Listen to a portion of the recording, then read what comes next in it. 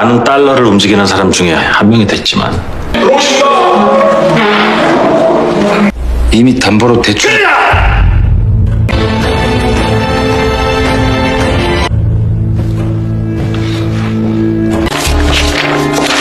아니 반대편을 향해 달리는 방향을 보면서도 약속드립니다. Halo teman-teman, welcome back to my YouTube channel. Mimin akan melanjutkan series Ribun Rich episode 5. Tapi sebelum masuk ke alur ceritanya, jangan lupa support channel ini dengan cara klik subscribe supaya channel ini lebih berkembang. Dan tak pernah lupa seperti biasa siapkan tempat ternyaman untuk rebahan yang tentunya untuk para kaum rebaners. Siapkan cemilan? Oke, mari kita bahas alur cerita filmnya. Film dimulai dengan berita yang mengatakan krisis parah sedang terjadi di Korea dan jatuhnya nilai mata uang Korea. Dan satu-satunya yang mengetahui kejadian ini adalah Jin Do Jun yang membuat dirinya menjadi salah satu orang Korea yang paling banyak memiliki dolar Amerika. Tak lama berita menginformasikan perusahaan otomotif Korea yang bernama Ahjin Motor mengalami kebangkrutan dengan hutang yang melimpah. Bukannya menghindari bahaya, Dojun ingin membeli perusahaan Ahjin Motor yang membuat Oh Seun dan Russell kebingungan. Di sisi lain, ayahnya Jin Dojun yang bekerja di perusahaan motor di PHK massal. Sin diperlihatkan dua pemimpin perusahaan besar sedang berkumpul untuk membahas krisis keuangan bersama presiden. Setelah pembahasan singkat selesai, Dongki sangat terkejut karena ayahnya ingin membeli perusahaan yang penuh dengan hutang piutang. Ayahnya mengatakan ini untuk mempertahankan perusahaan Sonyang Motor. 가장 많은 달러를 움직이는 사람 중에 한 명이 됐지만 제발 기억하게 돼요. 아, 총 맞았어요. 누가 그런 미친 짓을 해요? 생존이다.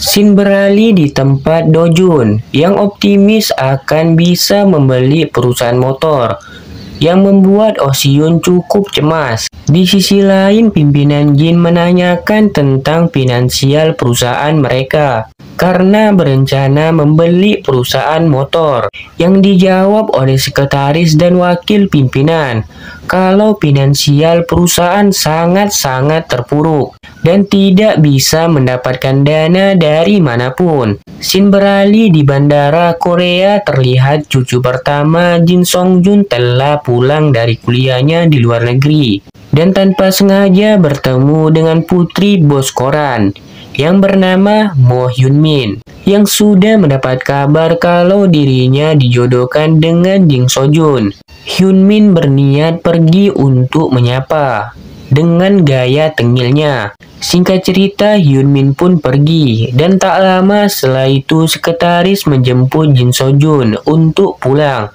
Sesampainya di rumah, Jin Song Jun disambut hangat oleh kakek dan neneknya. Karena di dalam peraturan keluarga Sonyang, Jin So Jun yang akan mewarisi Sonyan selanjutnya. Malam pun tiba, Ibu Jin Song Jun yang terus memperlihatkan calon istri Jin Song Jun yang telah dipilih oleh kakek mereka, yaitu putri koran Korea. 성일보의 외동딸 노현민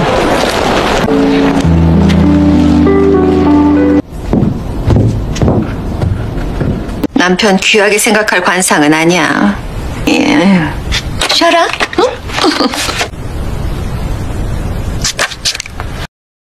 Sin beralih di perusahaan Sonyang terlihat Pak Kim yang mengkonfirmasi kepada pimpinan Jin kalau perusahaan asing Miracle Investment yang dipimpin oleh Oh Seun berniat membeli perusahaan motor. Tak lama setelah itu benar saja, Oh Siyun dan Russell telah sampai di perusahaan motor dan bertemu dengan pemimpin perusahaan tersebut yang sudah pasrah dan akan menerima kerjasama dari sisi mana pun. supaya bisa menyelamatkan perusahaannya. Setelah memberi surat yang ditulis oleh Dojun, pemimpin perusahaan motor akhirnya menyetujui kerjasama ini. Di sisi lain, Dojun yang akan pergi telah ditunggu oleh orang suruhan dari pamannya Jindoki. Di sini Dojun berbicara yang sebenarnya kalau dia sudah mengetahui kalau dirinya adalah suruhan dari pamannya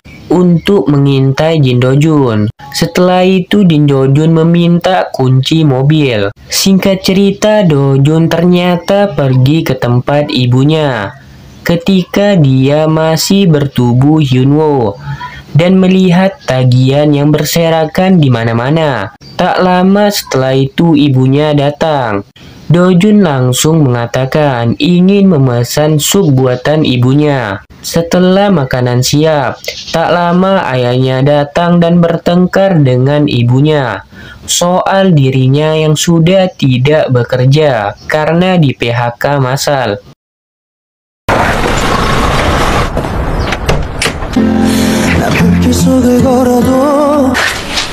집 죠. 사진 자동차가 무너지면 대한민국이 망하는 건데 내가 뭘 그렇게 잘못했길래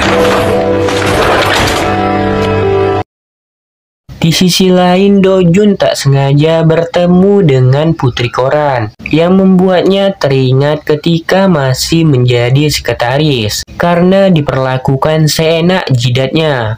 Di tempat lain, para warga dan konglomerat mengumpulkan emas mereka untuk mengatasi krisis negara yang super parah. Sin beralih di ruangan pertemuan pimpinan Jin dengan pendiri koran Korea untuk membicarakan tentang pernikahan cucu sulungnya dan putri koran.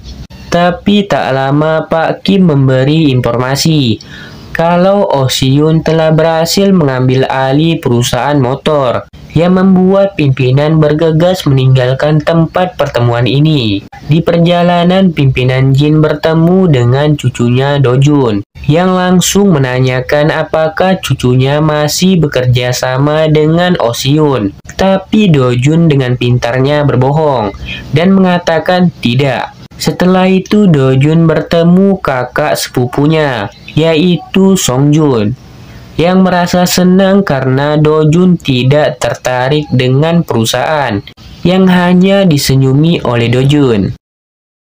요즘도 오세여한테 돈 대주고 투자하나? 도저히 네가 보고 배울 게 없는 일이다. 할아버지께서 말씀하시는 정도경 형 지가 주인인 줄 안다. 여회사 경영에는 관심이 없어서 Setelah pulang terlihat putri koran yang mulai tertarik dengan Dojun. Sin beralih di mana Dojun yang terus berulang kali pergi membeli kopi di tempat Sominyong bekerja, yang tentunya hanya untuk melihatnya. Keesokan harinya, Dojun yang berada di kampus tiba-tiba didatangi putri koran yang melihatkan penolakan masyarakat Korea karena perusahaan asing yang mengakuisisi perusahaan motor yang membuat Dojun berlari terbirit-birit ke kantornya. Di sisi lain terlihat pimpinan Jin yang sangat senang tentang berita yang diterbitkan oleh harian Hyung Sung, yaitu pimpinan koran. Di tempat lain Dojun yang akhirnya bertemu dengan Osyun yang sudah terlihat sangat pusing karena pikiran Dojun yang tidak bisa ditebak membuat Osyun ingin menyerah Tapi tidak dengan Dojun yang teringat keluarganya hancur berantakan ketika ayah mereka di PHK yang membuatnya sangat terobsesi ingin membeli Sonyang. 형이 아진대 동체를 인수하게 될 순 없습니다 고용승계에 반대하니까요 네. 그 기적은 일어나지 않을 거야. 무릎이 깨지거나 머리가 깨지거나. 그 싸움에 그 큰 돈을 거는 이유가 대체 뭔데?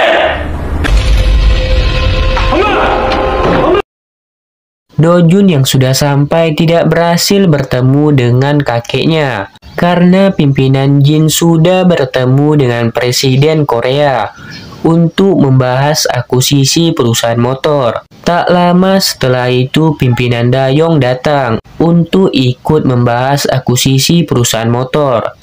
Karena hal itu, Dojun kembali ke kantornya dengan meyakinkan Osyun apa yang mereka lakukan sudah benar. Karena hasutan Dojun, Osyun akhirnya mau bergabung lagi. Setelah itu, Osyun menawarkan kerjasama kepada pimpinan Jin untuk membeli perusahaan motor dan mengalahkan perusahaan Dayon yang diterima oleh pimpinan Jin.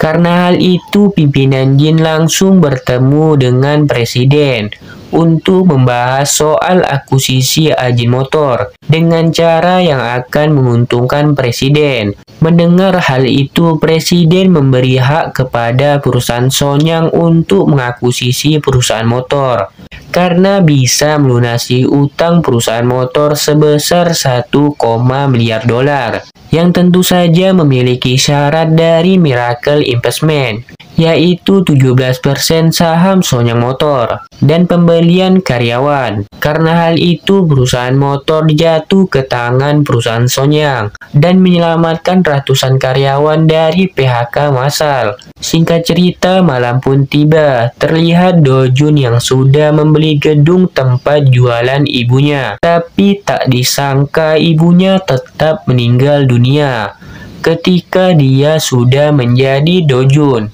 dan berhasil menyelamatkan pekerjaan ayahnya.